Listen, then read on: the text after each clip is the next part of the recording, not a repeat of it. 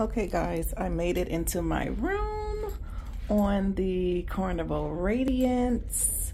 This is outlined with a king size bed for me because it's just me this time.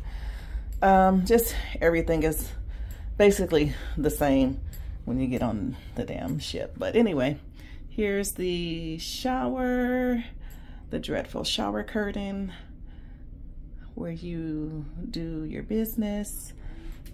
The sink, it does really have pretty good counter, you know, top. It has like the mirrors, a nice mirrors, nice cabinet spaces for you, all the towels that you would need. Um, the closets are a little difficult for me to open because I have these damn nails on, but in either case, here's the closet. Funny thing, I don't know why they decided to put the refrigerator in the closet here and didn't put it down in the space over here.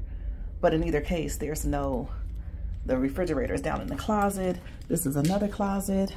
This is where, let me see if I can get this open. This is where, hold on a second. Okay, this thing is so difficult for me to open this door right here. But in either case, this is my safe. Like, the fuck? Usually there's like a dial pad for me to put my belongings in here so that I can lock it up or whatnot or whatever. I've never seen this before. I've been on the Radiance before. I've never seen this before. This is room 1277. Anyway, that's where your life jackets are. And this is a view from like my, from the door, from the entrance. So it'll give you a view of uh, what, you know, how big the room is. Not very big, but it's enough room for you to do what you got to do. Anyway, just a brief room tour, mirror right here.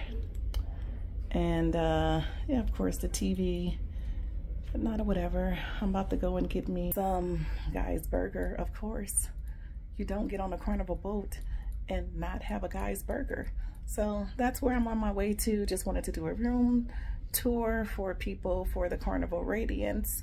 Uh, deck one, room 1277. Ahala.